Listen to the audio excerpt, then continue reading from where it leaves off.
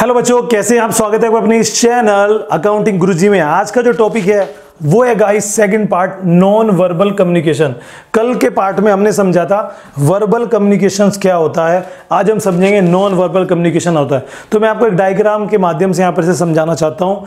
मैं आपको बताऊँ, पहले तो नॉन वर्बल कम्युनिकेशन ये हम पढ़ रहे हैं मेथड्स जी हाँ मैथड ऑफ़ कम्युनिकेशन कम्युनिकेशन हम जब करते हैं, जब दो व्यक्ति या ग्रुप ऑफ़ पर्सनस आपस में कोई शेयर करते हैं इंफॉर्मेशन आइडिया या बातचीत करते हैं, किसी कंपनी में, हम बात कर रहे हैं बिज़नेस रिलेटिव बातों में। तो वो इस माध्यम से करते हैं, किस मैथड किस तरीके से करते हैं, वो दो तरीके होते हैं। एक वर्बल एक नॉन वर्बल वर्बल जिसमें शब्दों का प्रयोग होता है, वो चाहे ओरल हो, चाहे वो रिटर्न हो। नॉन वर्बल का जो अर्थ है, वो यही है communication is the transfer of information from one and other most of जो, जिसमें ज़रूरत होती है 75 परसेंट जो कम्युनिकेशन होते हैं, वो होते हैं नॉलेज के हिसाब से, ठीक है? अब बात करते हैं, कुछ ऐसे भी होते हैं जिसमें नॉन वर्बल कम्युनिकेशन होता है, जैसे आई आई कांटेक्ट करना फेशियल एक्सप्रेशन देना, या टोन ऑफ़ वॉइस देना, या बॉडी लैंग्वेज से हम, या बॉडी पोस्चर या मोशन के थ्रू हम किसी भी ग्रुप ऑफ़ पर्सनस में आपस में कुछ शेयर करते हैं। जी हाँ बहुत सारी चीज़ें इसमें आ जाती हैं। अब इसके फीचर्स की अगर मैं बात करूँ तो फ़िज़िकल एस्थेटिक साइंस सिंबॉलिक बहुत सारी चीज़ें आ जाती हैं। फ़िलहाल देखिए, मैं आपको दिखाना चाहता हूँ। जी, ये देखो ये सबसे पहले देखो आप, ये आपके सामने बोर्ड पे कुछ बना हुआ है। बना हुआ है बच्चों? जी, इसमें आप देख सकते हो ये नॉन वर्बल कम्युनिकेशंस का ही एक तरीका है, ठीक है? चलिए तो आप देख सकते हो, फ़िलहाल ये नॉन वर्बल कम्युनिकेशन का ही एक मेथड है। इसमें ये है हैप्टिक जैसे आप देख सकते हो हैंडशेक करिया है। यहाँ पे अगर हैंडशेक आप करते हो तो ये हैप्टिक्स ये भी एक तरह का नॉन वर्बल कम्युनिकेशन है। गेस्टर्स गेस्टर्स आप जानते हो? जैसे अपने उंगली उठाना, चुटकी बजाना, ठीक है? ऐसे किसी को कहना, बहुत बढ़िया है ए वन ए वन तो वो गेस्टर्स होते हैं। ये होते हैं, या प्रोक्सीमाइज प्रोक्सीमाइज होता है किसी को जैसे हम हाथ फैला देते हैं ना, आओ, गले लग जाओ। ये क्या है? ये यही है, ठीक है? फेशियल एक्सप्रेशन किसी को मुँह चुड़ाना कि जितनी भी हमारी इमोजीज हैं, वो सब फेशियल एक्सप्रेशन ही तो है। ठीक है? उसके अलावा हम कोई गुस्सा वगैरह, वो सब वो अलग है। बॉडी लैंग्वेज में आप कूद के किसी को कूद रहे हो तो समझ जाओ। ठीक है ना? आप ऐसे हिल रहे हो, कुछ कर रहे हो। ठीक है ना? बॉडी लैंग्वेज से कुछ कर रहे हो? जैसे मैं अगर मैं अगर ऐसे कर रहा हूँ तो पता लग रहा है कि मैं स्टाइल मार रहा हूँ। मैं अगर ऐसे कर रहा हूँ तो इसका मतलब पता लग रहा है कि मैं दौड़ लगाने वाला हूँ। तो ये हमारी बॉडी लैंग्वेज है, ठीक है? अपीरियंस होता है इन सब चीज़ों में। जैसे हम सैल्यूट करते हैं फौजी को, ठीक है? या फिर मान लीजिए कि पुलिस वाले हैं, उन्हें कैसे पहचानते हो आप लोग? उनकी यूनिफॉर्म से? तो वो क्या हो गया? वो अपीरियंस हो गया। फौजी हैं, उन्हें उनकी ड्रेस से पहचानते हो। अगर कोई काला कोट पहन रखा है तो उसे क्या बोलेंगे? वकील बोलेंगे, है ना? और किसी के हाथ में पहने तो क्या उसे टीचर बोलेंगे? ये ये नहीं लगा कुछ, ये नहीं लगा। आई कॉन्टैक्ट भी होता है। आई कॉन्टैक्ट से भी बात हो जाती है।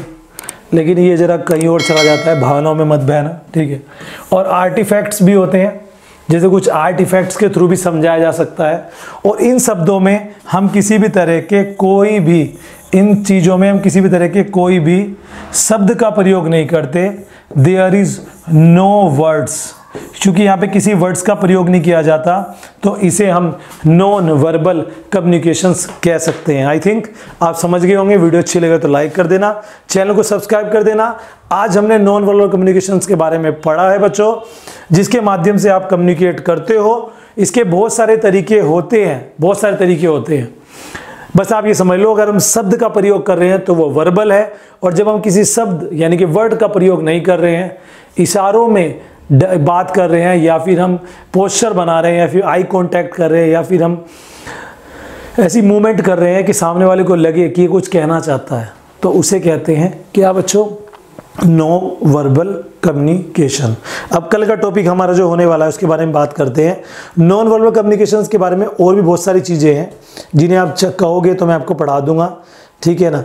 जैसे ऐसे हम करते हैं तो उसका मतलब क्या है? विक्ट्री तो ये भी एक तरह का नॉन वर्बल कम्युनिकेशन है। कुछ भी हो सकता है।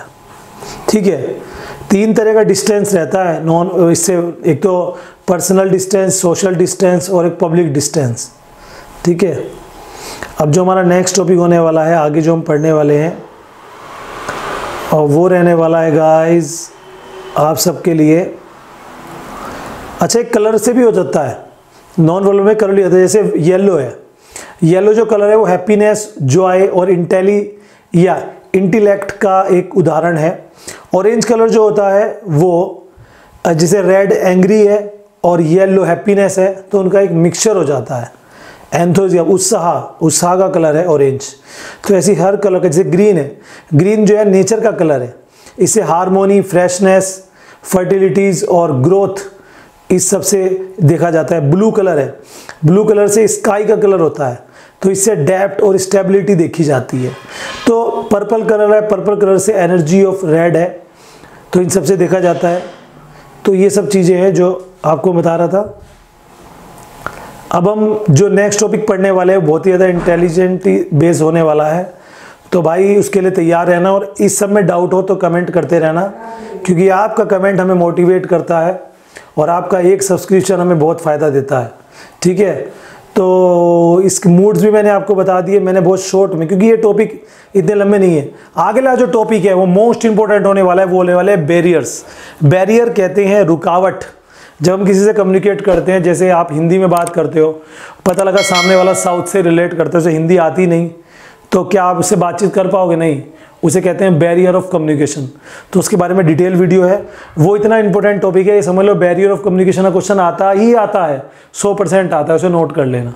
तो मिलते हैं अगली वीडियो में, तब तक के लिए गुड बाय